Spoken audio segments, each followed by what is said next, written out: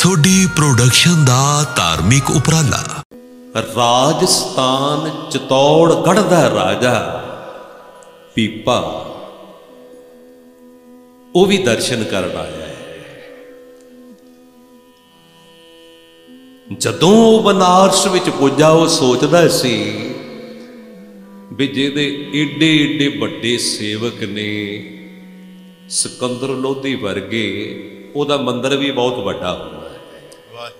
ਵੱਡੇ ਵੱਡੇ ਰਾਜੇ ਝੁਕਦੇ ਨੇ ਨਾਗਰਮਲ ਝੁਕਦਾ ਏ, ਸਿਕੰਦਰ ਲੋਧੀ ਝੁਕਦਾ ਏ, ਤੇ ਉਹ ਕੋਈ ਵੱਡਾ ਹੋਣਾ ਹੈ, ਬੜਾ ਵੱਡਾ ਮੰਦਰ ਹੋਏਗਾ ਉਹਦਾ। ਜਦੋਂ ਪੁੱਛਦਾ ਪਛਾਉਂਦਾ ਆਇਆ, ਉਹੀ ਕੱਖਾਂ ਦੀ ਝੁੱਗੀ ਤੇ ਉਹੀ ਨਿਮਰਤਾ ਦਾ ਸਰੂਪ ਹੈ। ਬੈਠੇ ਜੋੜੇ ਗੰਢੀ ਜਾਂਦੇ ਨੇ। ਆਲੇ ਦੁਆਲੇ ਜਿਹੜੇ ਸੰਗੀ ਬੈਠੇ ਨੇ, ਉਹ ਵੀ ਕਿਸੇ ਰਸ ਵਿੱਚ ਨੇ, ਨਾਲੇ ਇਹ ਜੋੜੀ ਗੰਢੀ ਜਾਂਦੇ ਨੇ, ਨਾਲੇ ਰੱਬ ਦੀਆਂ ਗੱਲਾਂ ਸੁਣਾਈ ਜਾਂਦੇ ਨੇ। ਇੰਜ ਕਹਿ ਲਈਏ, ਹੱਥ ਕਾਰ ਵੱਲ ਹੈ, ਕੰਮ ਵੱਲ, ਤੇ ਜਿਹੜਾ ਚਿੱਤ ਉਹ ਨਿਰੰਕਾਰ ਵੱਲ ਹੈ। ਸਤ ਸੰਗੀਓ ਇਹ ਸਾਡੀ ਸੰਸਾਰੀਆਂ ਦੀ ਨਿਗਾਹ ਹੋ ਸਕਦੀ ਏ ਵੀ ਉਹ ਜੋੜੇ ਗੰਢਣ ਆਏ ਸੀ। ਨਹੀਂ। ਉਹਨਾਂ ਦਾ ਇਤਿਹਾਸ ਪੜਿਆਂ ਤੇ ਹੀ ਲੱਗਦਾ ਏ, ਜੋੜਾ ਗੰਢਣਾ ਤੇ ਇੱਕ ਬਹਾਨਾ ਸੀ, ਜਿਹੜਾ ਜੋੜਾ ਗਠਾਣ ਲਈ ਕੋਲ ਬੈੰਦਾ ਸੀ ਨਾ, ਜੋੜਾ ਗੰਢਣ ਤੋਂ ਪਹਿਲਾਂ ਹੀ ਉਹਦੀ ਰੂਹ ਨੂੰ ਰੱਬ ਨਾਲ ਗੱਡ ਦਿੰਦੇ ਉਹ ਰੂਹਾਂ ਨੂੰ ਰੱਬ ਨਾਲ ਗੰਢਣ ਆਏ ਸਨ। ਪਰ ਭਗ ਰਾਜਾ ਪੀਪਾ, ਉਹ ਹੈਰਾਨ ਹੋਇਆ ਆ ਕੇ ਨਮਸਕਾਰ ਕੀਤੀ ਏ, ਤੇ ਜੋ ਭਾਵਨਾ ਭੇਟਾ ਲਿਆਇਆ, ਲਿਆ ਕੇ ਮੱਥਾ ਟੇਕ ਕੇ ਬਹਿ ਗਿਆ, ਤੇ ਕੀ ਕਹਿੰਦਾ ਏ? ਕਹਿੰਦਾ ਜੀ, ਰੱਬ ਮਲਾ ਦੇ ਤੁਸੀਂ ਮਿਲੇ ਹੋਏ? ਮਿਲਿਆ ਹੋਇਆ ਮਲਾ ਸਕ ਮੈਨੂੰ ਰੱਬ ਮਲਾ ਦੇ। ਤੇ ਰਵਿਦਾਸ ਮਹਾਰਾਜ ਕੀ ਕਹਿੰਦੇ? ਕਹਿੰਦੇ ਹੁਣੇ ਮਲਾ ਦਈਏ। ਉਹ ਸੁਣ ਕੇ ਹੈਰਾਨ ਹੋ ਗਿਆ। ਹੁਣੇ ਹੀ ਮਲਾ ਦਈਏ ਤੇ ਇੰਜ ਕਹੀ ਜਾਂਦੇ ਜਿਵੇਂ ਰੱਬ ਇਹਨਾਂ ਦੇ ਹੱਥਾਂ ਵਿੱਚ ਹੋਵੇ।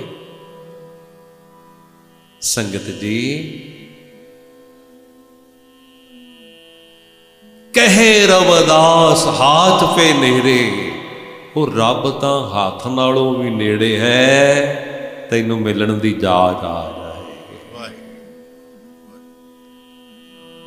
ਕਹਿੰਦਾ ਜੀ ਹੁਣੇ ਮਿਲਾ ਦਿਓ ਫਿਰ। ਉਹਨਾਂ ਕੀ ਕੀਤਾ ਏ, ਜਿਹੜਾ ਪਾਣੀ ਵਾਲਾ ਕੁੰਡਾ ਪਿਆ ਏ ਨਾ, ਉਹਦੇ ਵਿੱਚੋਂ ਪਾਣੀ ਦਾ ਚੂਲੂ ਭਰਿਆ ਤੇ ਕਹਿੰਦੇ ਲੈ ਬੁੱਕ ਕਰ।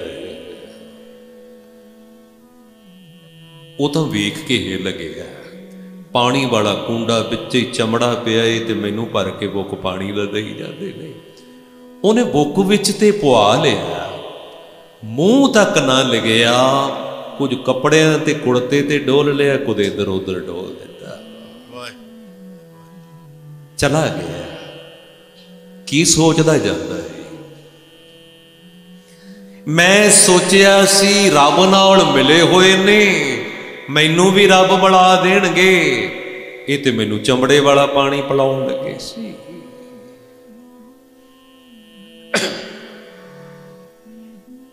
ਘਰ ਜਾਂਦਾ ਏ ਤੇ ਆਪਣਾ ਕੁੜਤਾ ਲਾ ਕੇ ਨਾ ਰਾਣੀ ਨੂੰ ਦਿੰਦਾ ਏ। ਕਹਿੰਦਾ, ਲਾ, ਆ ਕਿਸੇ ਨੌਕਰ ਚਾਕਰ ਨੂੰ ਦੇ ਦੇਈ। ਇਹ ਕੁੜਤਾ ਪਾਉਣ ਵਾਲਾ ਨਹੀਂ ਰਿਹਾ।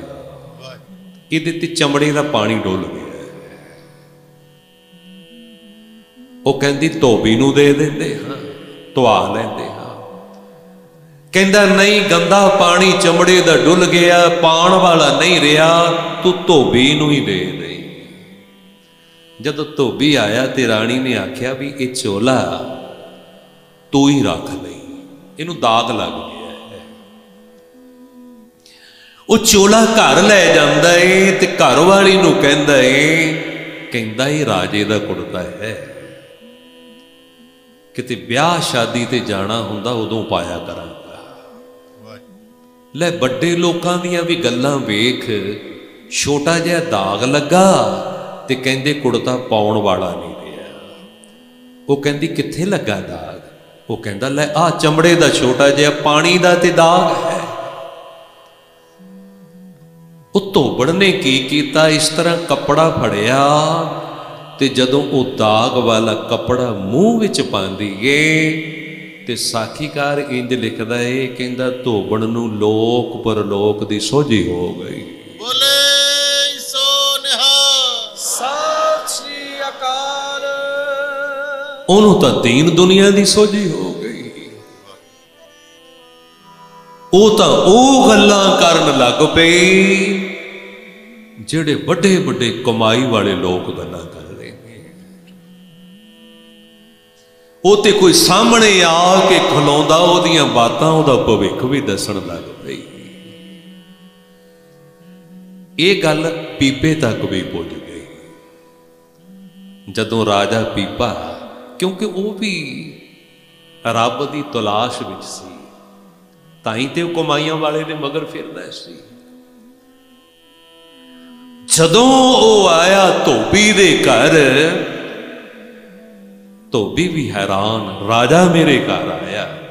ਜਦੋਂ ਧੋਬਣ ਦੇ ਅੱਗੇ ਹੋਇਆ, ਧੋਬਣ ਆਖਣ ਲੱਗੀ, ਮਹਾਰਾਜ, ਦਰਵਾਜ਼ੇ ਤੱਕ ਤੇ ਤੁਸੀਂ ਪੁੱਜ ਗਏ, ਪਰ ਤੁਹਾਡੇ ਕੋਲੋਂ ਦਾਤਾਂ ਸਾਂਭੀਆਂ ਨਹੀਂ ਗਈਆਂ। ਜਿਹੜੀਆਂ ਬਖਸ਼ਾਂ ਤੁਹਾਡੇ ਤੇ ਹੋਣੀਆਂ ਸੀ, ਉਹ ਮੇਰੇ ਤੇ ਹੋ ਗਈਆਂ। ਜਿਹੜੀਆਂ ਬਖਸ਼ਾਂ ਤੁਹਾਡੇ ਤੇ ਹੋਣੀਆਂ ਸੀ ਨਾ, ਉਹ ਮੇਰੇ ਤੇ ਹੋ ਗਈਆਂ ਨੇ। ਤੁਸੀਂ ਮੌਕਾ ਗਵਾ ਲਿਆ, ਤੁਸੀਂ ਸਮਾਂ ਗਵਾ ਲਿਆ। ਜਦੋਂ ਰਾਜੇ ਪੀਪੀ ਨੂੰ ਇਸ ਗੱਲ ਦਾ ਪਤਾ ਲੱਗਾ, ਫਿਰ ਉਹ ਬਨਾਰਸ ਮਹਾਰਾਜ ਜੀ ਦੀ ਨਗਰੀ ਆਂਦਾ ਏ ਤੇ ਰਵਦਾਸ ਜੀ ਕੋਲ ਆ ਕੇ ਨਮਸਕਾਰ ਕੀਤੇ। ਬੁੱਕ ਕਰਦਾ ਏ, ਕਹਿੰਦਾ ਜੀ, ਕੁੰਡੇ ਦਾ ਪਾਣੀ ਬੁਲਾ ਦੇ ਰਵਿਦਾਸ ਜੀ ਕਹਿਣ ਲੱਗੇ, ਰਾਜਨ, ਹੁਣ ਬੇਸ਼ੱਕ ਤੂੰ ਸਾਰਾ ਹੀ ਪਾਣੀ ਪੀ ਲਵੇਂ, ਕੁਝ ਵੀ ਬਣਨ ਵਾਲਾ ਨਹੀਂ ਹੁਣ ਬੇਸ਼ੱਕ ਤੂੰ ਸਾਰਾ ਕੁੰਡਾ ਪੀ ਲਾ ਪਾਣੀ। ਹੁਣ ਕੁਝ ਨਹੀਂ ਬਣਨ ਵਾਲਾ। ਓਏ ਗੱਲਾਂ, ਪਿਆਰ, ਭਾਵਨਾ, ਭਰੋਸੇ ਸਿਦਕ ਦੀਆਂ ਨੇ। ਪਾਣੀ ਕੁੰਡਾ ਇਹ ਤੇ ਇੱਕ ਬਹਾਨਾ ਸੀ। ਰੱਬ ਐਵੇਂ ਥੋੜੀ ਮਿਲਦਾ, ਓਨੀ ਨਿਮਰਤਾ, ਓਨਾ ਪਿਆਰ ਵੀ ਤਾਂ ਹੋਵੇ ਨਾ ਵੱਡਿਆਂ ਕੋਲੋਂ ਰੱਬ ਨੇ ਕੀ ਲੈਣਾ ਹੈ? ਓਏ ਉਦੋਂ ਮੈਂ ਆਪਣੀ ਕਮਾਈ ਵਿੱਚੋਂ ਕੁਝ ਤੈਨੂੰ ਦੇਣ ਲੱਗਾ ਸੀ, ਹੁਣ ਤੈਨੂੰ ਕਮਾਈ ਆਪ ਕਰਨੀ ਪੈਣੀ ਹੈ। ਬਹੁਤ ਸਾਰੇ ਸ਼ਬਦ ਭਾਈ ਗੁਰਦਾਸ ਜੀ ਦੀ ਬਾਣੀ ਵਿੱਚੋਂ ਐਸੇ ਮਿਲਦੇ ਨੇ ਵੀ ਜਿਨ੍ਹਾਂ ਨੇ ਆਪਣੀ ਕਮਾਈ ਨਾਲ ਦੂਜੇ ਦਾ ਕੁਝ ਸਵਾਰ ਦਿੱਤਾ। ਉਦੋਂ ਮੈਂ ਆਪਣੀ ਕਮਾਈ ਵਿੱਚੋਂ ਕੁਝ ਦੇਣ ਲੱਗਾ ਸੀ, ਹੁਣ ਕਮਾਈ ਤੈਨੂੰ ਆਪ ਕਰਨੀ ਪੈਣੀ ਹੈ। ਉਹਨੇ ਝੋਲੀ ਵਿਛਾਈ। ਕਰੋ ਕਿਰਪਾ, ਕਹਿੰਦੇ, ਸਤ ਨਾਮ ਹਰ ਭੋਗ ਤਿਹਾਰੇ। ਜੁੜ ਜਾ ਰੱਬ ਨਾਲ।